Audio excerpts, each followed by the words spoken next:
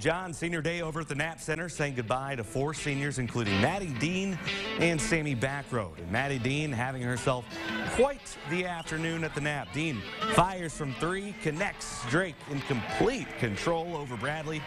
Becca Hittner now, finds Dean down low. All she has to do is push it up and in.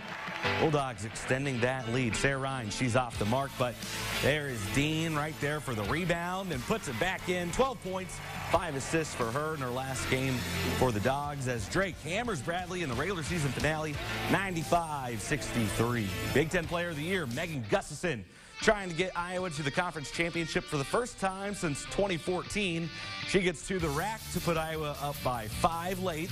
We've got a three-point game now. Tania Davis from the corner buries it, and that would just about do it is Iowa going to the Big Ten championship game to face Maryland 72-67 over Rutgers. Iowa State Cyclones women's team taking on Kansas in the Big 12 quarterfinal. Iowa State knocking off Kansas 75-58 is your final day advance.